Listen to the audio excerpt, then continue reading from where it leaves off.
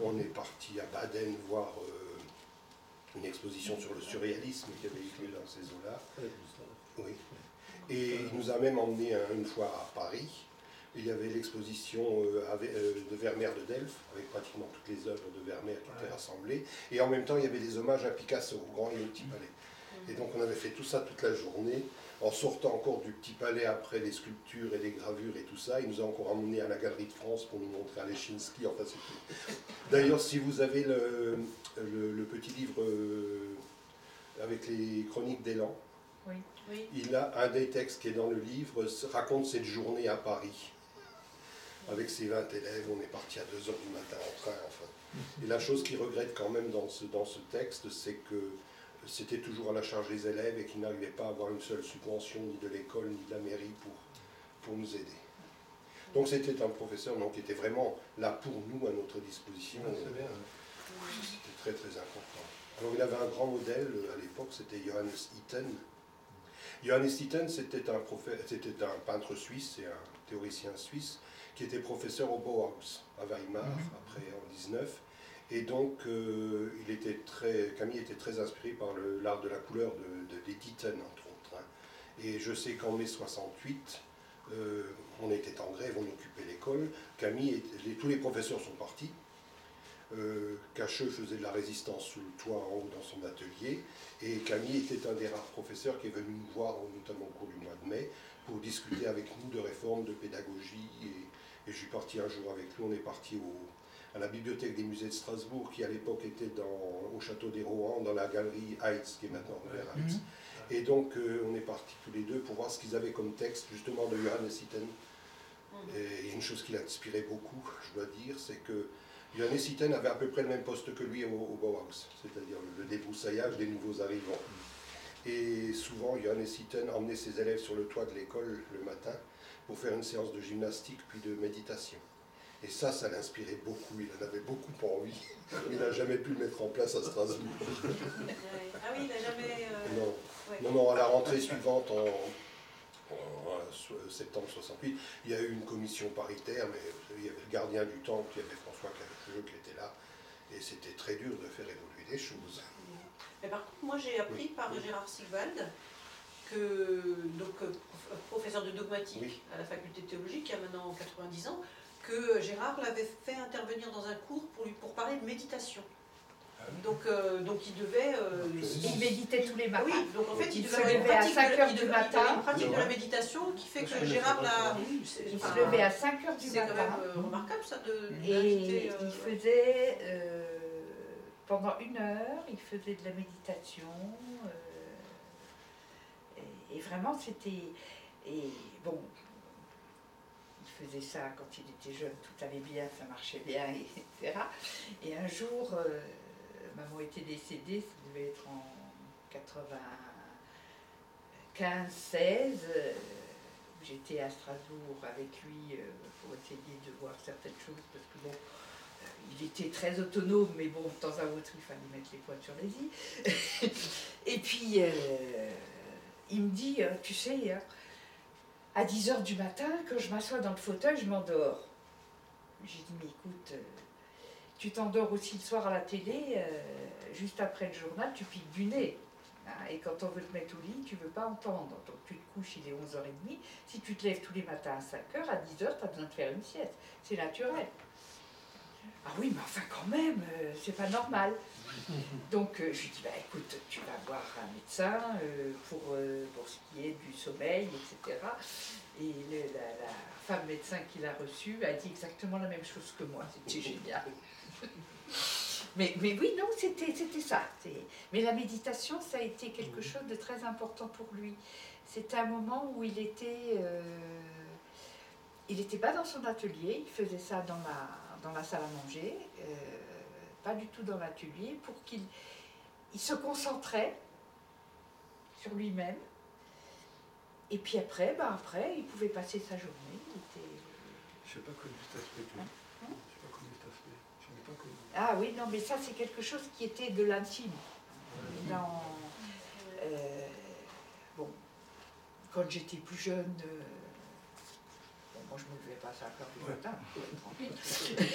mais, mais simplement pour dire, quand, euh, quand une fois, euh, c'était, j'étais moi-même adulte, bon, on a, on a beaucoup de, d'affinités sur beaucoup de choses, sur tout ce qui est relationnel, etc. Donc, c'était facile de trouver et de découvrir ces aspects-là que, que un enfant n'a pas. Mm-hmm. bon, c'est secondaire, enfin, c'est sa vie, c'est pas la mienne, etc. Mais là, effectivement, ça c'était quelque chose qui est resté euh, jusqu'à la fin de sa vie. Ce, besoin de ce temps, et ce temps tôt le matin. Mais bon, c'est presque, presque l'ordre de la 16, parce que si on fait ça tous les jours euh, oui, à partir de 5 heures du matin, je veux dire, il avait un côté euh, ascétique et. Bah, à, la, à la mort d'Angèle, de, il y, a, y, a eu ça, hein, parce que aussi dans la nourriture, dans, euh, dans les rites journaliers, le, petit déjeuner, le repas de, de midi, euh, le repas du soir, c'était très rituel.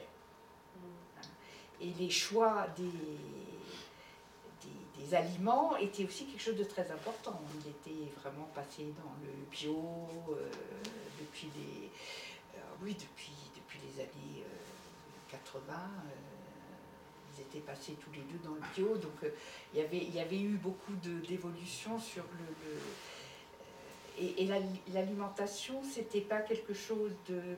Alors il y a eu du plaisir, hein, c'était euh, le verre de vin rouge qui faisait venir de Bordeaux, d'un petit négociant en vin, en barrique, qui mettait en bouteille. Enfin, il y, avait plein de rituels là-dedans.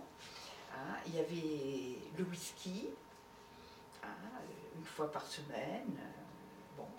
C'était le soir whisky. Il y avait aussi euh, le côté salé-sucré. Alors il y avait une soirée où on mangeait que du sucré. Alors il allait s'acheter un millefeuille chez le boulanger. Donc c'était, il y a eu à partir de, 93, je dirais que euh, sa vie intime vraiment quotidienne était euh, rythmée par des rituels. Et c'était très important parce que ça, ça lui donnait cette impression aussi d'être en relation avec, euh, avec la nature, avec euh, l'absolu, avec, avec plein de choses. Donc ça, c'était quelque chose de très important. Et puis il avait sa promenade. Ah bah sa promenade. Oui, Sa promenade quotidienne par tous les temps et par... Alors, il partait du rue du Père Aubricht, il longeait les Capucins, il descendait, il y a les étangs, euh, et il allait jusque pratiquement à, oui, le long du canal. Et parfois, quand il était en pleine forme, il revenait par Egbolsheim. Euh, donc il faisait tous les jours, le, tous, les jours, tous les jours, tous les jours, quel que soit le temps. Et en général, ça se passait en début d'après-midi, enfin vers 13h, 13h30, il partait. Je suis une fois passé en voiture, et il marchait sur le trottoir, je me suis arrêté. Et euh, on n'a pas coté. Le lendemain, j'ai eu une lettre. De vous être arrêté euh, m'a fait tellement plaisir. Mais bon, c'est donc, il était peintre, clairement. Mais il était aussi poète. Enfin, quand on lit ce qu'il écrit, c'était euh, un vrai écrivain. Quoi. Je veux dire, c'était pas juste une activité annexe. Moi, je trouve. C'était. Euh, quel regard vous portez sur ce, sur cette, euh, cette activité artistique qui. déjà, déjà dans la pratique, moi, ce que j'ai trouvé génial, c'est il n'avait pas de lumière électrique dans son atelier. Il n'y avait pas de plafonnier, une, pas de lumière artificielle pour peindre. Donc quand le soleil déclinait, il passait à son bureau, il avait une lampe électrique et là il commençait à écrire ou à dessiner. Et c'est ce qui a vraiment rythmé euh, son travail et ça l'a partagé en deux. Euh, moitié, une partie euh, de la journée peindre et une partie de la journée à écrire. C'est pour ça qu'il a écrit beaucoup et dessiné beaucoup. Il a fait énormément d'illustrations dans des livres, des couvertures. On en trouve tout le temps de nouvelles, hein. il y en a plein. Est-ce qu'il lisait beaucoup aussi, Louise Parce que ah, oui. pour écrire, il faut, il faut lire. Enfin, Alors, euh, il a été pendant, euh, je sais pas, une, une bonne trentaine d'années, euh, un lecteur privilégié des DNA qui lui envoyait des livres et il en faisait la critique. Ah oui, d'accord. Donc, il recevait euh, toutes les semaines euh, trois, quatre bouquins. euh. Alors il les lisait, parfois en diagonale. Puis euh, quand il disait c'était pff. Fini. Mais, mais c'est vrai que quand, euh, quand on a déménagé euh, la maison, euh, j'ai fait des dons bibliothèque parce que je n'avais pas compris. Des, centaines et des centaines de livres. Il y en avait partout. Partout. Sous les armoires, sous les placards, dans le grenier, il y en avait partout. Et, et c'est vrai que bon, il lisait énormément. Et alors c'était marrant parce que euh, il, il mettait trois tas. Hein, Il y avait le tas, tas, non, c'est sans intérêt. Il y avait un tas où c'était pour euh, son meilleur ami Frédéric Nifke, euh, son, ami de toujours, hein, euh, qui était. donc lui il, lui, donnait des livres. Et puis il y avait le tas pour la famille.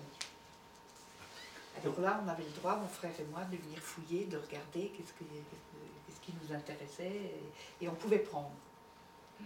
Donc, euh, mais il faisait sélection, alors de temps à autre, moi j'allais regarder les autres. Je dis, bon, pourquoi, pourquoi il veut pas ça Bon, ah, il n'aime pas, moi j'aime.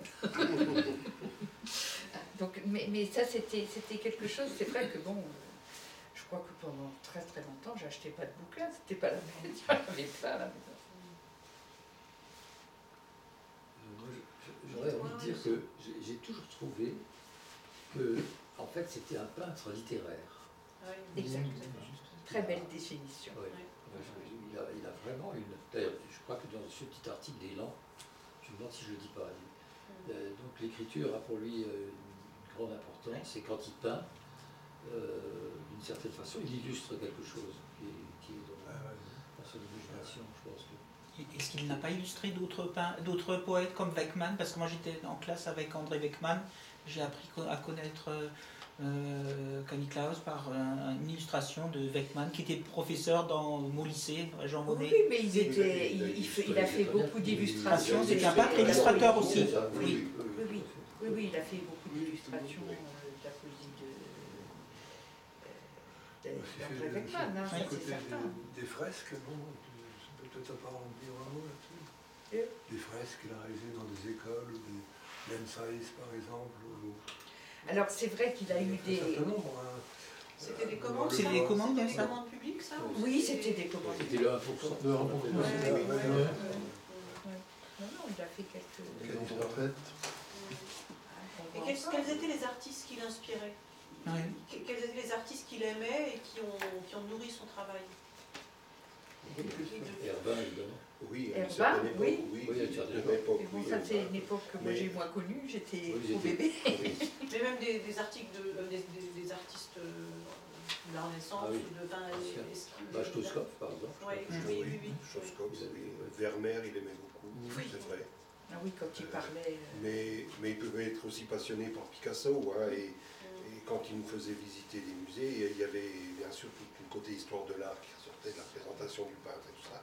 Mais il y avait aussi tout le temps le- l'analyse technique, euh, les formes, les couleurs, les contrastes, la composition. Et c'est ça qui était passionnant pour nous. parce que- Non, il s'intéressait euh, à, à tout le monde, mais en même temps, euh, bon, il pouvait être euh, extrêmement euh, négatif. Euh, Quelque chose Et c'était un grand inquiet quand même. oui, c'était un grand, un, un angoissé, Ouais, donc euh, souvent c'était... Alors comment ça, se- vous perceviez ça comment?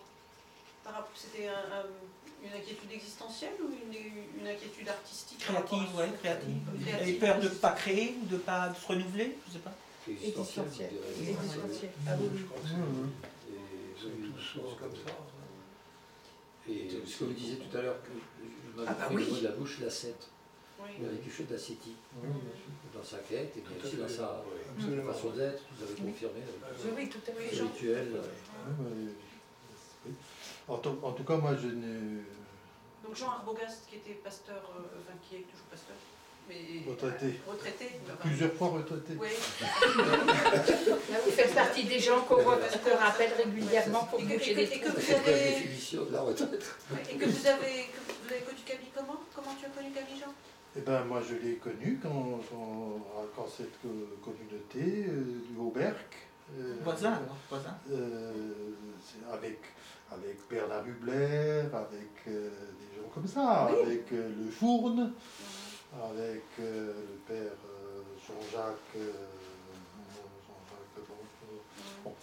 Et, mais, mais donc, euh, côté artistique, moi, j'y connaissais rien. hein. Donc, de toute façon, on n'a pas appris l'art à, l'école. Donc, euh, je lui ai demandé, mais, mais voilà, alors il m'a dit, alors il, il m'a dit, il m'a donné un bouquin de clés, Ah Oui. clés, Oui. et il dit, voilà, ça paraît simple, mais c'est...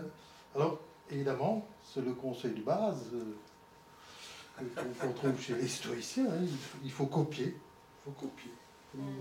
Et puis ensuite, euh, il faut, il faut inventer, il faut créer, il faut... Et donc un clé, il m'a, il m'a apporté un Van Gogh, non, pour voir les dessins de Van Gogh, essayer de voir ce qu'il y a là derrière, et, et, euh, Hans Arp Mhm. et, et Miro. Voilà. Voilà ce que je peux dire. Qu'est-ce qui était accroché au mur chez vous À la maison Chez moi Ouais, chez vous, euh, chez vous quand vous étiez enfant, je veux dire, euh, dans sa maison, Ouais. il y avait. Alors, j'ai eu tableaux, un coup de cœur quand je suis arrivée à Drusenheim parce que euh, le tableau, quand on rentre, euh, le tableau qui s'appelle Frédéric, Oui. Euh, qui était dans la Ouais. montée de l'escalier Ouais. euh, pendant 30 ans. Mhm. Ah oui, ce, fameux jusqu'à qui la fin. décide de quitter la- l'abstraction. C'est ça, hein, ouais. Il faudrait qu'il vole au-dessus de. Oui, qui, qui, voilà, qui, qui est euh, la même, euh, si vous voulez, la même sensibilité que l'espace habité qui est suspendu, euh, donc la table, Mhm. qui- euh, du- du- euh, de celui qui est en train de pêcher. euh, Mhm. voilà.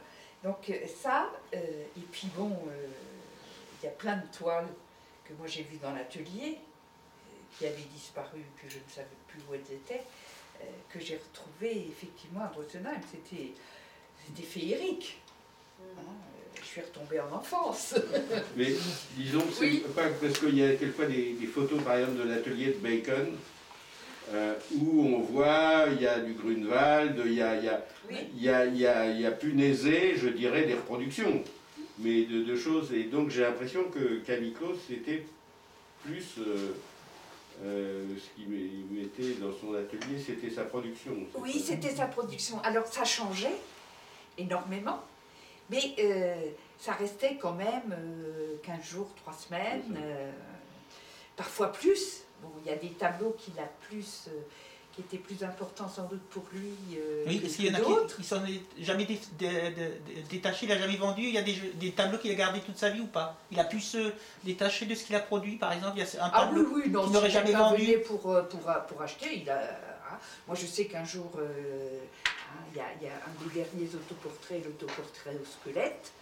euh, quand je suis rentrée dans l'atelier, il n'était pas terminé. J'ai dit celui-là, il m'appartient. Deux jours après, euh, il y a quelqu'un d'autre qui est arrivé qui lui a dit non, moi je l'achète. C'était foutu. je l'ai- Ah, mais mais lui-même, sans. Oui, mais lui-même, il a- il n'en a pas gardé un tout jusqu'à sa mort, par exemple. Ah bah si euh, à quelque chose qu'il n'aurait jamais cédé parce qu'il y avait trop d'affect par Non, par exemple, la, la lecture qui est à, qui est à Drusenheim, euh, à l'entrée, euh, c'est un tableau qui, qui était chez nous dans la salle à manger et qui n'a jamais vendu, euh, qu'il a donné à ma fille aînée. euh, mais voilà, donc, euh, non, non, il y a des, des toiles qui, qui n'ont pas été vendues et qui. Parce qu'il y tenait, c'est ça que je voulais savoir. C'est parce qu'il y C'est pas qui tenaient, c'est c'est plus nous qui y tenions. D'accord. Mais le Frédéric, je pense qu'il a dû avoir une grande importance, il l'a gardé presque jusque... Ah ben jusqu'à Jusqu'à la que fin. oui.